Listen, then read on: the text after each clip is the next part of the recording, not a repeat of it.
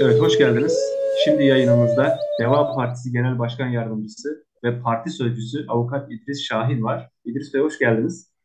Hoş bulduk Cemil Sait Bey. İyi yayınlar diliyorum. Teşekkür ederiz.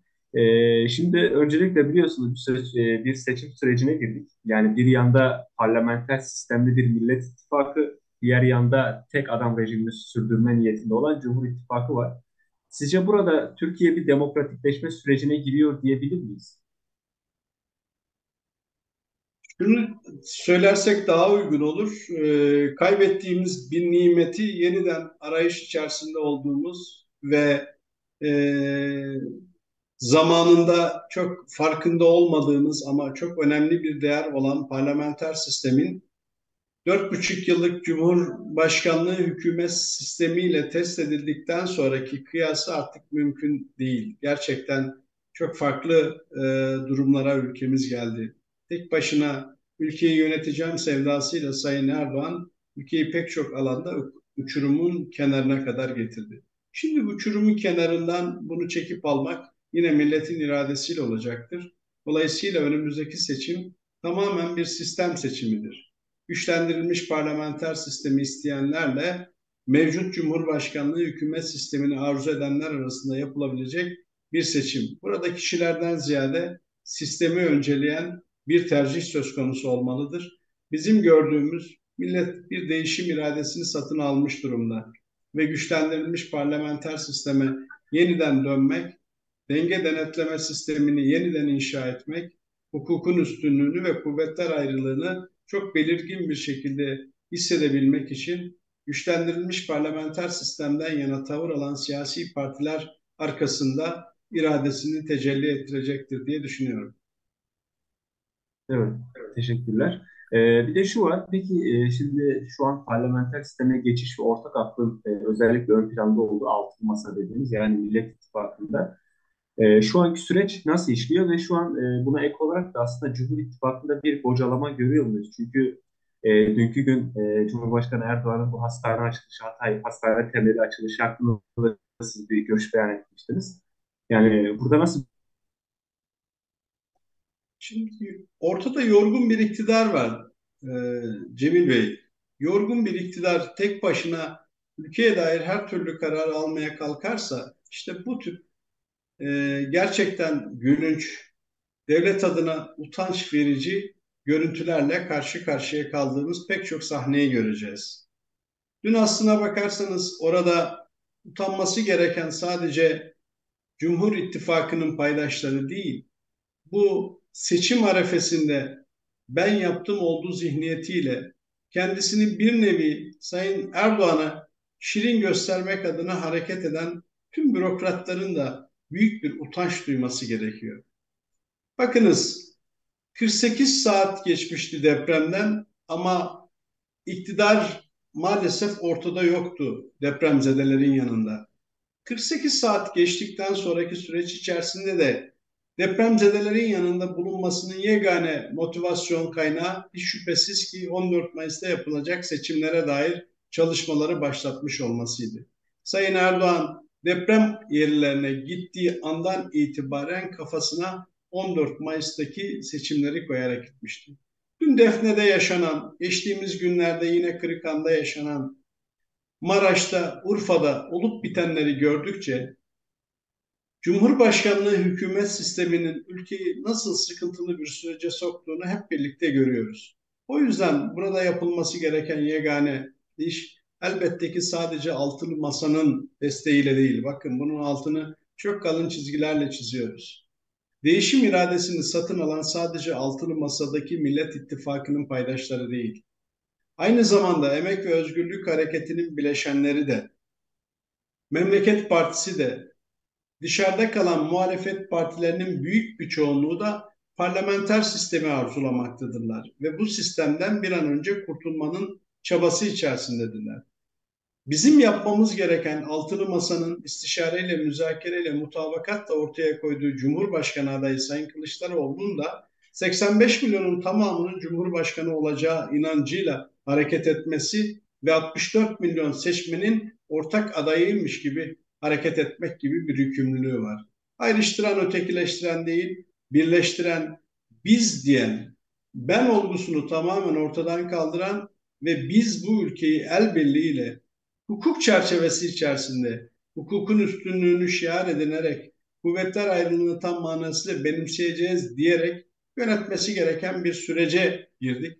Dolayısıyla Sayın Erdoğan'ın seçim arifesinde daha çok yanlış yapacak. Dört buçuk yıldır yaptığı yanlışları katlanarak devam edecek. Çünkü öncelikle biz her platformda şunu söylüyoruz. Cumhur İttifakı ahlaki üstünlüğünü kaybetti. Sonuç almak için her yolu deneyen, her yol mubahtır diyen anlayışla yol yürüyor. Ve bugün etrafına bir baktığınız zaman 90'ların o karanlık yüzlerinin tamamen Cumhur İttifakı'nın içerisinde olduğunu görüyorsunuz. O bileşenlerle bu ülkeye bir hayır gelmez. Ve AK Parti çıkış gayesinden çok çok uzaklaştı.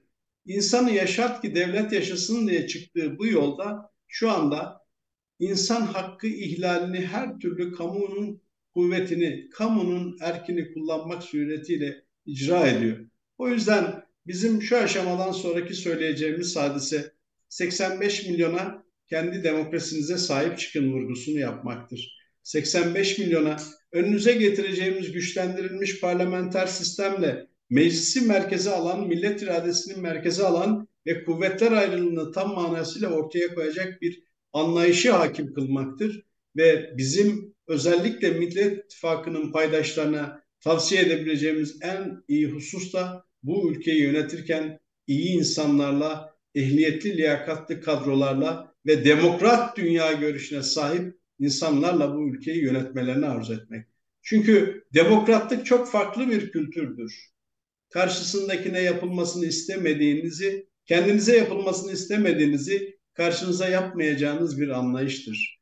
Hukuku sadece kendiniz için değil, karşınızdaki için de isterseniz bunun adı demokratlıktır. Adalet kavramını, zenginlik kavramını, özgürlük kavramını kendinize istediğiniz kadar karşınızdakine de istiyorsanız ancak size demokrat denebilir.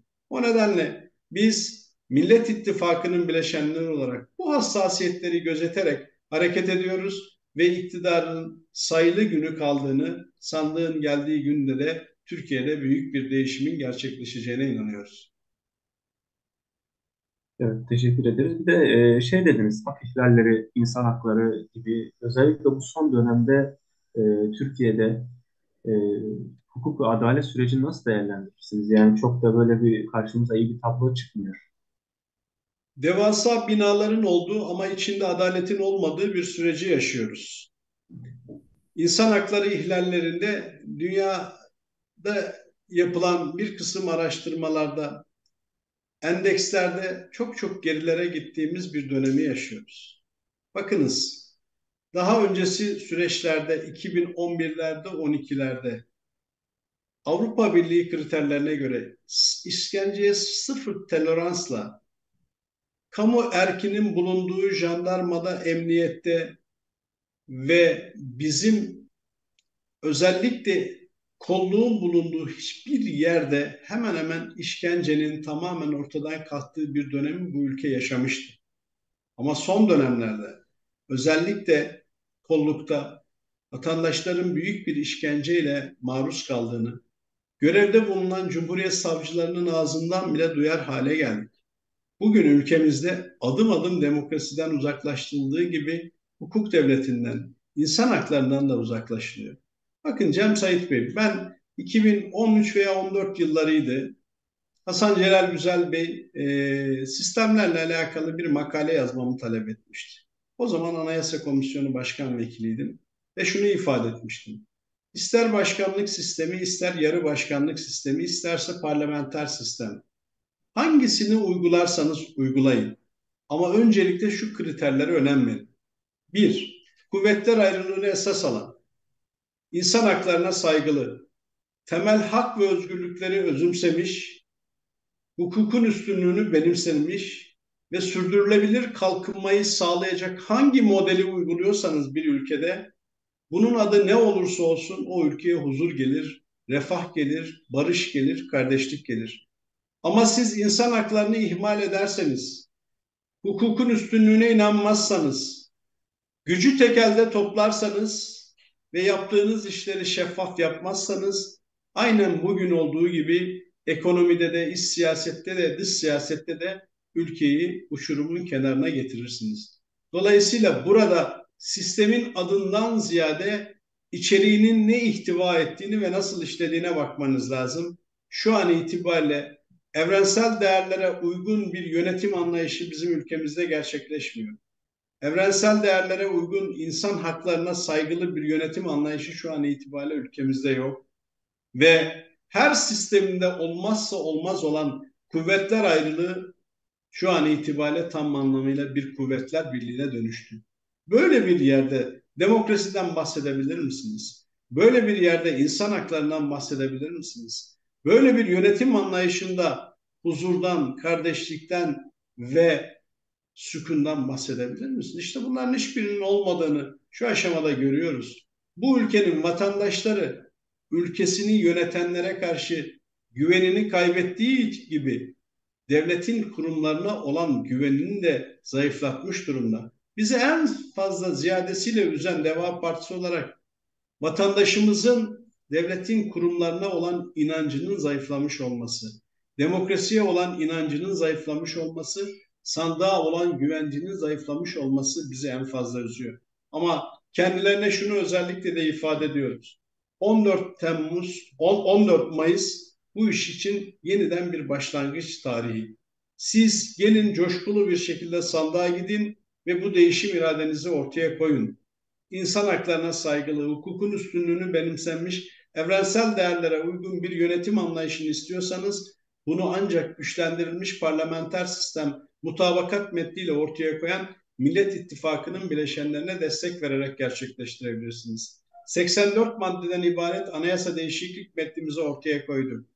Geçiş sürecinin yol haritasını ortaya koyduk ve devamında ise biz bu ülkeyi el birliğiyle, istişareyle, ortak akılla yöneteceğiz dediğimiz her türlü çalışmayı, referans kaynaklarını seçimler öncesinde milletimizin huzuruna takdim ettik.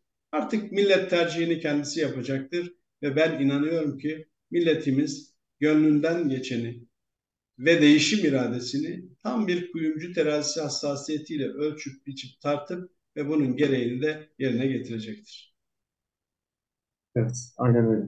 Çok teşekkür ediyoruz. Ee, bu kadar yoğunluk arasında bizimle değerli görüşlerinizi paylaştığınız için hakikaten çok önemli meseleler bunlar. Evet, teşekkür ediyoruz. Ben teşekkür Çok ediyorum. teşekkür İyi yayınlar diliyorum. Sağ olun. Görüşmek üzere. Teşekkür ederiz. Sağ olun. Sağ olun. Çok teşekkür ederiz. Sağ olun.